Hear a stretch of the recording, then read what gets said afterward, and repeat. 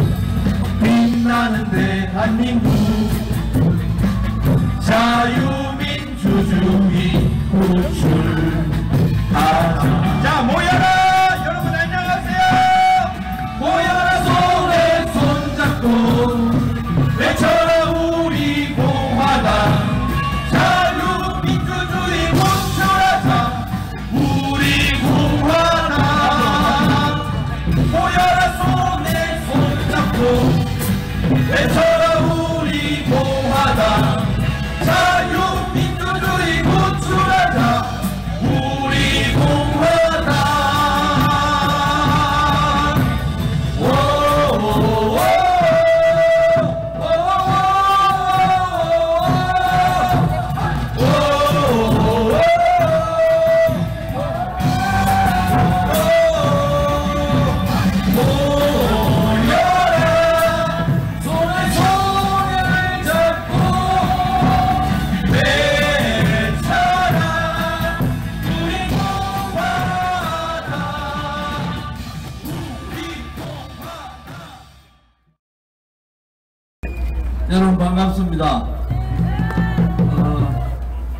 대구는 제가 태어난 고향이고 어, 제가 자란 곳이고 현재도 요 옆에 성당동에서 제가 살고 있습니다. 어, 대구를 보수의 중심이라고 하는데 보수의 가치는 뭡니까? 보수의 가치는 자기들만 잘 먹고 잘 사는 게 보수가 아닙니다. 지금까지 보수는 옆을 돌아보지 않고 자기 가족 챙기고 자기 주변 챙기면서 자기 혼자 잘 먹고 잘 사던 그런 시대가 있었어요. 그래서 보수가 2030, 40 젊은 세대로부터 배척받는 그러한 상황이 있었습니다. 우리 공화당은 국민의힘하고 진짜 진정으로 보수 대통합을 원한 겁니다. 왜냐 그러면은 우리가 8년간 아스팔트에서 문재인 좌파 독재 정권, 민노총, 정교조, 주사파, 그리고 가짜 틀을 쓰고 있는 민주 진보 세력들하고 8년간 싸웠어요.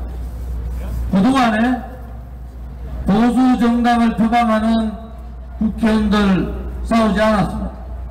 문재인 정권에서 나라를 망하게 하고 헌법의 자유글자를 빼려고 하고 시장 경제를 무너뜨리고 자유민주주의 체제에 의한 통일이 아니라 그들이 말하는 연방제 통일을 주장하고 대한민국을 완전히 쑥대박 만들 때 보수를 표방하는 정치인 어느 누구도 그들과 싸우지 않았습니다. 그들은 정의가 아니라 불의에 굴종했어요. 수많은 보수의 지식인들은 투쟁보다는 신문을 택했습니다. 왜 그랬습니까? 그들 앞에는 국민이 없었던 거예요. 그들 앞에는 대한민국에 민초들이 없었던 겁니다. 그들 한편은 가진 자들 기득권만 보였지 가지지 못한 서민들은 눈에 들어오지 않았습니다. 지금의 대한민국은 자나 우나 권력을 가진 자, 돈을 가진 자, 언론을 장악한 자들이 다 자기 세상을 만들고 있는 겁니다. 대한민국의 비기득권, 돈 가지지 않은 아버지, 권력 가지지 않은 아버지, 언론과 통하지 않는 아버지 가정, 비기득권 세력들도 열심히 일을 하면은 행복해질 수 있다는 대한민국의 희망은 없어진 겁니다.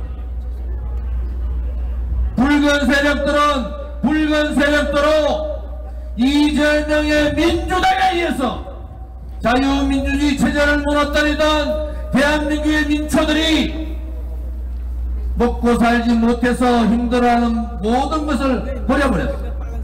오른쪽은 2017년 3월 10일 날 제 눈앞에서 여러 동지들의 눈앞에서 다섯 분이 돌아가셨습니다.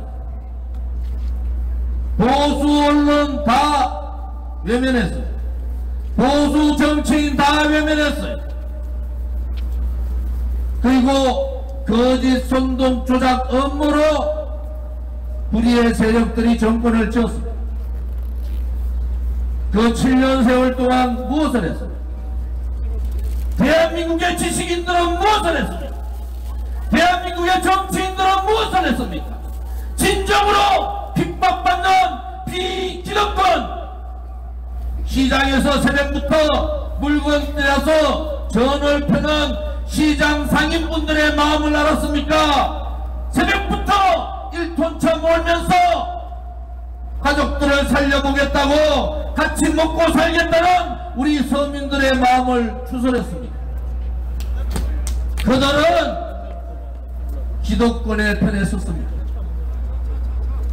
권력도 언론도 돈의 기득권에 서는 그러한 세력들이 아니라 대한민국이 무너질 때 민초들을 생각하면서 지금의 우리 젊은이들 보십시오. 여기에 나와 있는 자유파 국민들 보십시오. 이분들이 언론에서 얘기한 대로 고구 세력들입니까? 이분들은 그야말로 기득권과의 전쟁을 했고 불의와의 전쟁을 했고 거짓과의 투쟁을 했고 그들의 기득권의 세상이 아니라 가지지 못하지만은 희망을 가질 수 있는 대한민국을 만들기 위해서 우리의 모든 것을 8년 동안 아스팔트에 갖다 본 것. 물론 정광훈 목사라는 사람 때문에 태극기 세력들이 많이 희화화되고 웃기게 된 것도 사실입니다. 잘못하는 거예요. 우리 공화당에 유동규라는 사람 같은 사람이 들어오려고 하면은 우리 공화당 동지들이 동의합니까? 우리 공화당에 사회적 무리를 일으키는 한보성이 같은 사람이 들어오면은 우리 공화당이 동의합니까? 부패하지 않고 정의를 위하고 자기의 이익이 아니라 국민을 위하고 가진 자가 아니라 서민을 위하는 민초정당 그 민초정당이 이제 8년째에 들어가는 겁니다.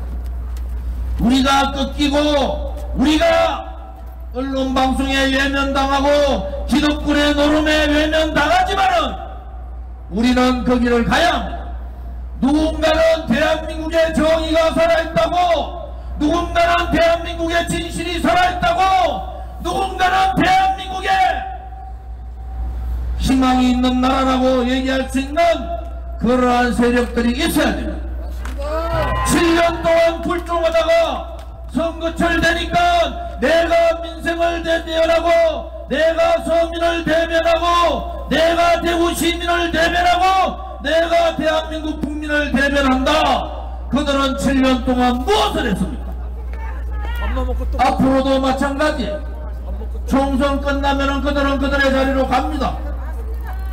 대한민국의 자유민주주의 체제를 지키려는 사람들 대한민국의 시장 경제를 지켜서 시장 경제라는 내용을 몰라도 내 아들 딸과 손자 손녀들이 사회주의 국가 공산국가가 아닌 자유민주주의 체제에 살 수 있으면 좋겠다는 그러한 희망을 가지고 우리는 모든 것을 벗어던지고 이렇게 모인 겁니다. 누가 옳았습니까? 문재인 좌파 독재 정권이 나라를 망하게 하고 나라를 불게 만들 때 그들에게 불종하고 침묵했던 자들이 없습니까? 그들과 저항하면서 문재인 좌파 독재 정권 폐지를 원했던 우리 공화당이 옳았습니까? 우리 공화당이 옳은 겁니다. 우리 공화당이 옳은 거예요. 그렇지만은 침묵하고 불종하고 불의에 저항하지 않는 세력들은 우리 공화당을 원하지 않습니다. 왜? 올바른 소리를 하기 때문에 그렇습니다. 그러나 언젠가는 이 대한민국이 성실하게 올바르게 정직하게 사는 사람이 승리하는 그러한 날이 들은 반드시 올 거라고 자신을 가지는 겁니다 여러분 넘어져도 다시 일어나야 합니다 아무리 힘들어도 우리 아들, 딸과 손자, 손녀에게 불의의 나라를 넘겨줄 수는 없는 겁니다. 거짓의 나라를 넘길 수는 없는 겁니다. 가진 자들이 그들의 나라, 가진 자들끼리의 기득권 세상을 만들어서는 안 된다는 것을 우리는 8년간 외쳤고 앞으로도 가진 자의 나라, 권력 가진 자, 비정상적으로 돈을 가진 자의 나라가 아니라 열심히 살고 부패하지 않아도 우리 아들 딸들이 엄마 아버지를 존경할 수 있는 할아버지 할머니를 존경할 수 있는 그런 나라를 위해서 우리는 또다시 힘을 모아야 합니다. 대구 시민들께 말씀을 올리면 보수의 중심은 보수의 중심 다워야 합니다. 보수의 중심이라 얘기하고 보수의 가치를 지키지 못하는 정치꾼들이 있으면은 퇴출하는 것이 맞는 겁니다. 여러분들이 강해지셔야 된다고요. 여러분들이 기독권이 아니라 어려운 분의 편에 서줘야지 되는 겁니다. 대구 시민들이 불의가 아니고 거짓이 아니라 정의와 진실의 편에 설 때 대한민국은 제대로 된 나라로 간다. 저는 그렇게 말씀드리고 싶습니다. 오늘 저희들 집회 때문에 대구에서는 집회를 거의 안 하니까 불편하시게 되게 느끼실 거예요. 오늘 집회 때문에 불편함을 느끼는 대구 시민들께 죄송한 마음을 가집니다. 그렇지만은 누군가는 나라 경제 망치는 민노총과 싸워야 합니다. 누군가는 대한민국의 어린 학생들을 붉게 만드는 정교조와 싸워야 합니다. 누군가는 이재명의 잘못된 정치와 싸워야 합니다. 누군가는 기득권에 안주하는 보수 세력들과 싸워야 합니다. 그것이 저 조은진이나 우리 공화당을 위한 것이 아닙니다. 국가 한푼 없이 우리 공화당은 당당하게 8년을 정당으로서 제3정당 대한민국의 당원수 제3정당을 묻어버리는 이것이 올바른 언론입니까? 정의당보다 돈을 내는 최근 당원이 다섯 배입니다. 정의당보다 일반 당원이 다섯 배예요. 그런데 우리 공화당을 좌우 언론들이 다 묻어버립니다. 왜? 올바른 소리를 하기 때문에 그렇습니다. 왜? 그들의 기득권과 저항하기 때문에 그런 겁니다. 왜? 그들이 챙기지 않은 대한민국의 서민들을 챙기기 때문에 그런 겁니다. 우리 공화당이 옳았듯이 앞으로도 우리 공화당이 옳은 길을 갑시다 여러분. 준비되셨습니까? 준비되셨습니까?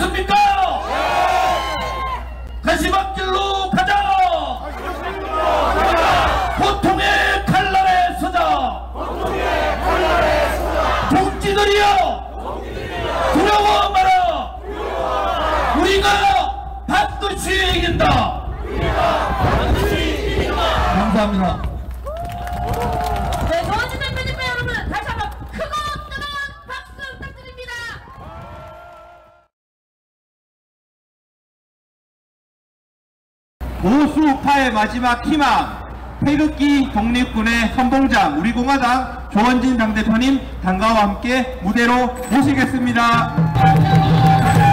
다시 밭길로 가자!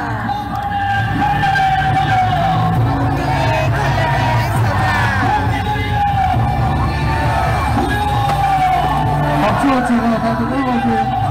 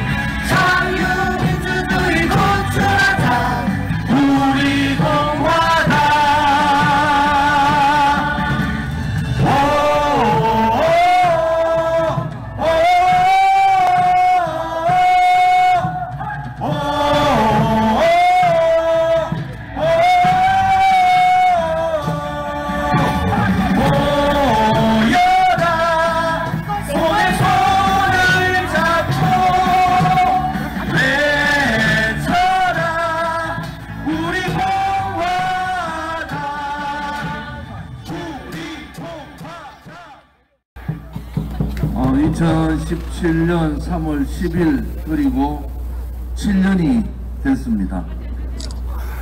우리는 대한민국을 활개치고 있고 아직도 종북, 친북 인사들은 붉은 속내를 감추지 않고 있습니다. 그냥 가만히 있으면 되는 나라가 돼버렸어요. 불의를 보고도 피하면 되고 거짓을 보고도 눈을 감으면 되고 또 우리가 가야 될 길이 아닌 좌파들의 그러한 독재를 보고도 굴종하면 되는 그러한 나라가 됐습니다. 그렇지만은 누군가는 진실을 얘기해야 됩니다. 누군가는 불의를 불의라 얘기해야 됩니다. 누군가는 거짓을 거짓이라 얘기해야 됩니다. 맞습니다. 그렇지 않은 나라는 나라만 있지 나라의 정신이나 가치가 없는 껍데기 나라가 되는 겁니다. 오른쪽 이재명의 민주당은 붉은 껍데기 세력들이 모여 있는 거예요. 그 껍데기 세력들이 대한민국을 붉게 21대 국회는 좌파들이 숫자로 나라를 말아먹었으면 22대 국회는 붉은 세력들이 들어가서 나라를 좌지우지합니다. 오른쪽에 보수라는 정당, 보수라는 정치인들은 불종을 하니까 재미를 본 겁니다. 침묵하니까 도망가 있으니까 불의를 보고 고개를 숙이니까 대통령도 국회의원도 한번 할 수 있구나. 이렇게 착각들 합니다. 그 나라는 정상적인 나라가 아닙니다 여러분. 정상적인 나라는 의가 살아있고 신신이 살아있고 믿음이 살아있는 나라입니다 의도 팽개치고 믿음도 팽개치고 국민의 희망도 팽개친 나라는 정상적인 나라가 아닙니다 우리 공화당 저 조은지는 그러한 잘못된 나라를 바꾸고자 태극기를 든 겁니다. 누군가는 우리가 앞장서면은 대한민국 국민들이 믿어줄 거라 생각을 한 겁니다. 우리가 앞장서면은 언론 방송에 속은 대한민국의 국민들이 깨칠 거라고 생각한 겁니다. 여러분, 민노총이 이 나라를 흔든 지가 30년이 넘었습니다. 정교조가 대한민국의 어린 학생들의 교육을 망친 지도 30년이 넘었습니다. 그러나 어떠한 보수의 정치인도 민노총과 정교조와 싸우지 못했어요.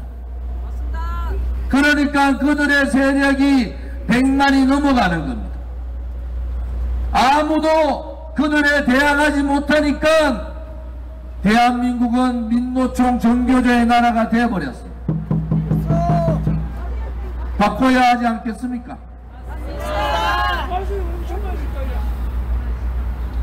많은 분들이 안타까워하세요. 많은 분들이 왜 국민들이 이렇게 모를까? 국민의힘에 한마디 할까요? 통합이 두려운 겁니다. 우리 공화당은 극우 세력이 아니에요. 국민의 힘을 바꾸자는 겁니다. 무능하고 무책임하고 내로남불 불의에 저항하지 못하는 거짓에 저항하지 못하는 국민의 힘을 바꾸자는 겁니다. 그것이 국민들이 바람이었어요. 그것이 대한민국의 민초 국민들 가지지 못한 국민들의 바람이었습니다. 또 선거 6개월 전부터 속고 속고 속아서 그러한 행태를 취하면은 누가 대한민국을 지킬 수 있습니까?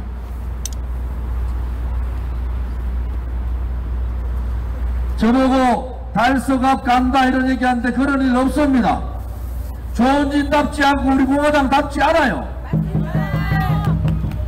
여러분들 우리 당원들 여론조사했더니 70%가 달성갑 가라 충분히 이해합니다. 여러분들의 그 배신감 여러분들의 실망 여러분들의 안타까움 충분히 이해합니다. 그렇지만은 저 조원진이나 우리 공화당은 당당하게 우리의 길을 가야 합니다. 많은 국민들이 우리를 지켜보고 있는 거예요. 여러분들이 당당하지 못하면은 누가 앞으로 대한민국의 정의를 얘기하고 진실을 얘기하고 대한민국의 미래를 얘기합니까? 이럴수록 더욱더 당당해야 됩니다. 이럴수록 여러분들이 옳았다고 더욱더 당당하게 얘기해야 됩니다.